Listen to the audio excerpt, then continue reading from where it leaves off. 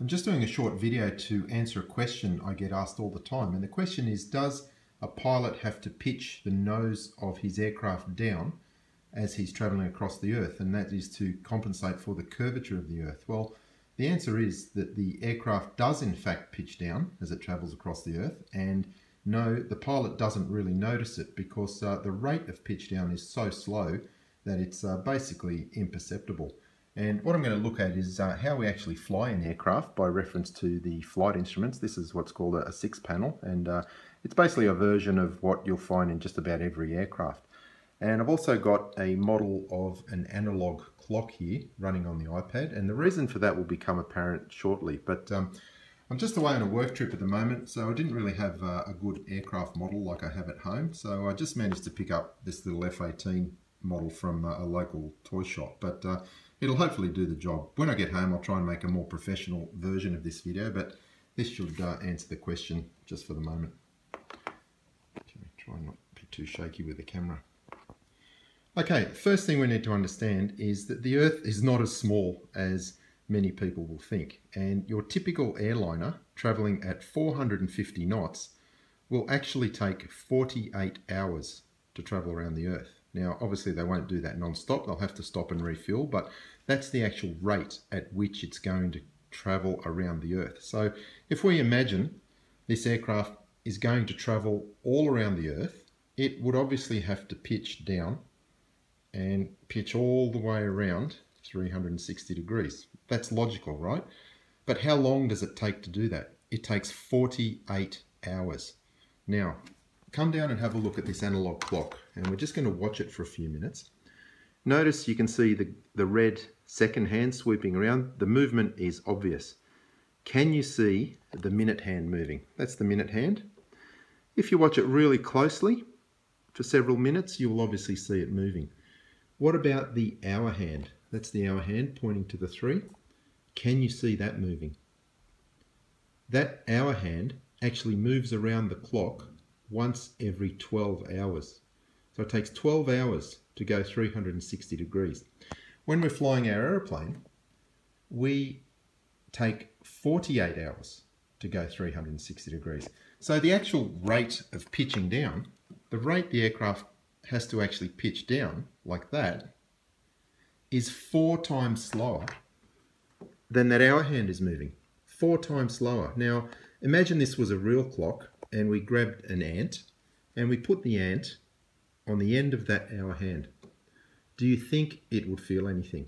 Do you think it would feel any centrifugal force? Do you think it would feel any movement? Do you think it could actually detect any angular change? Well, the answer is no. And uh, remember, our aeroplane is pitching down four times slower than this. So basically, if I if I filmed that clock for an hour and then slowed down the video four times, that is how much the aircraft is actually pitching down. So it's 360 degrees in 48 hours. What that equates to is one degree every eight minutes. Just every eight minutes, it's going to go down about that much. Just one degree, another eight minutes, another degree, another eight minutes, another degree, another eight minutes, another degree. So the rate of movement, the rate of pitch down is just so slow that it's not perceptible. The human body has uh, vestibular sensors. They're the um, semicircular canals inside your ears, and they they are designed to detect motion, but they're not completely infallible. And in fact, the reason you get dizzy when you spin around too much is because they are quite easily fooled. They're not sensitive enough to detect any motion that is less than about two to three degrees per second rotation. So I'll say that again, two to three degrees per second. Now, if we're moving in our aeroplane and we're only changing pitch attitude by one degree every eight minutes, that is many hundreds of times slower than the threshold at which your human body can detect motion. So there's just absolutely no way the pilot or the passengers are going to feel anything. Okay, now let's talk about why the pilot is not actually conscious of pushing the nose down continually. Remember, I, I, think some people must imagine the Earth is tiny and that you actually have to fly around like that. It's not that small, you know. As I said, it takes 48 hours to go right around the Earth.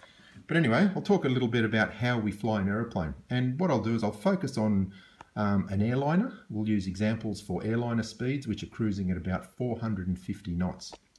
The, um, the artificial horizon here is uh, what we call the primary attitude indicator. And when you're flying a large commercial jet or a corporate aircraft, high performance aircraft, you're referring to that instrument um, primarily as uh, the reference for your aircraft attitude. Now, to combine with that, we've got a number of other instruments, and the two we'll focus on are the altimeter, which tells us our height, and the vertical speed indicator down here, which tells us if we're going up or down. You'll see that orange needle.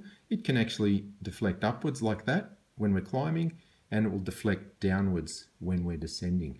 And the altimeter is basically like a, it's got a couple of arms, you know, depending upon the complexity. This has got a single arm for hundreds of feet, and then it's got a digital readout for the thousands of feet. But, but basically, if we were climbing at 1,000 feet per minute, that orange needle would be up here, pointing at the one.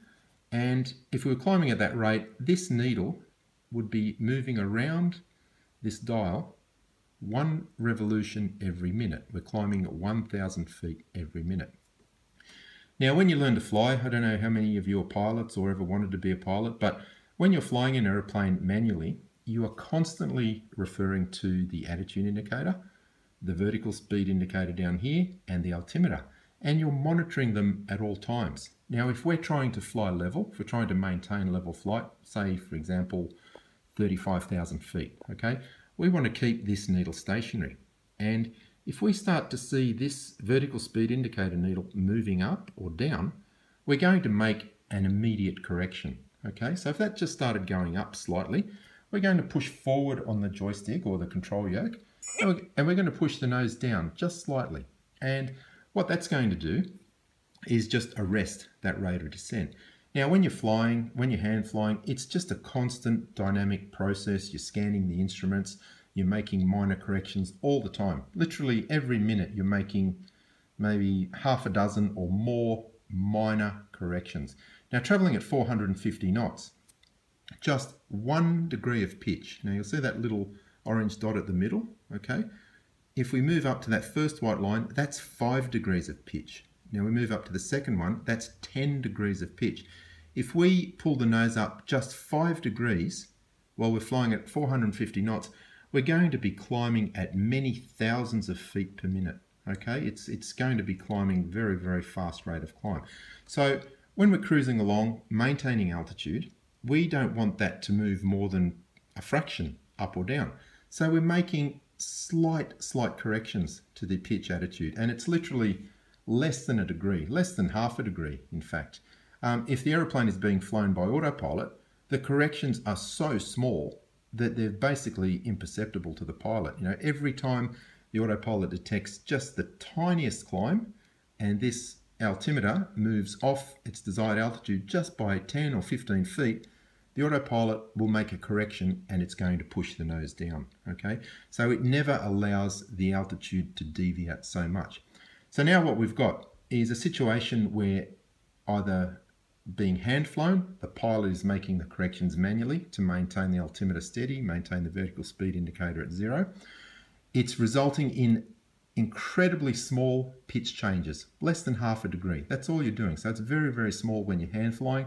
When the autopilot is flying, it's making rapid, tiny corrections, sometimes 0.1 of a degree. You know, I've actually um, got a head-up display in the aircraft I fly, and it has a much finer resolution of the, the pitch scale on the aircraft, and I can see 0.1 of a degree pitch deviation. When it's on autopilot, that 0.1 of degree, it's constantly adjusting, just like um, like when you're driving down the road. You're driving down the road, even if the road is straight, you don't just hold the steering wheel straight. You're making just the tiniest adjustments all the time to keep the um, keep the car in the middle of the road. And that could be due to um, maybe a little bit of a few bumps in the road or perhaps uh, a bit of side force from wind. In the aeroplane, there's any number of reasons that your altimeter can just start to fluctuate up or down a little bit. Very slight air pressure changes or um, turbulence. You know, when the autopilot is flying, it's making numerous tiny, tiny corrections all the time. You know, 10, 15, 20 corrections every minute that are so small, they're not perceptible, and they're just holding the altimeter steady. You barely even see the vertical speed indicator move. So we're making tiny corrections all the time to compensate for the curvature of the Earth. The nose has to only pitch down one degree in eight minutes. In that eight minutes, the autopilot has probably made well over 100 or maybe even 200 individual slight corrections, you know, slight corrections of 0.1 of a degree or 0.2 of a degree. If there's any climb detected, the aircraft just pushes the nose down by 0.1 of a degree. You won't see it, you won't even feel it, but it's basically um, absorbing, absorbing that one degree of pitch down all the time as it's making these minor corrections. So yes, so the reality is, as aeroplane flies across the Earth, it is pitching down. The pilot's not conscious of it because he's not even thinking about it. The, the rate of movement is so slow that it's negligible compared to the smaller, more frequent corrections that you need just to maintain altitude, just to maintain the vertical speed indicator steady. And obviously when the autopilot's doing it, um, pilot doesn't even have to touch the controls you virtually don't see any movement in this artificial horizon. In a head-up display, if you look carefully, you can see tiny deviations in the pitch. One, sorry, 0.1, maximum 0.2 of a degree, you know, as it compensates for, um, for turbulence or updrafts or even this curvature of the Earth. It's just holding a steady altitude the whole time. These instruments work on air pressure and they are sensitive enough to notice just slight um, deviations and then the autopilot will correct immediately. So basically, the whole time I've been talking, you see that that hour hand has just moved maybe two or three degrees at most. If we slowed that down um, four times, it hasn't even moved two degrees. And that's about the rate of movement that the aircraft has to pitch down. So hopefully that explains, um, first of all, why pilots don't really notice it and why passengers absolutely cannot feel anything and how it is basically just absorbed in, uh, in the normal method of flying and maintaining altitude.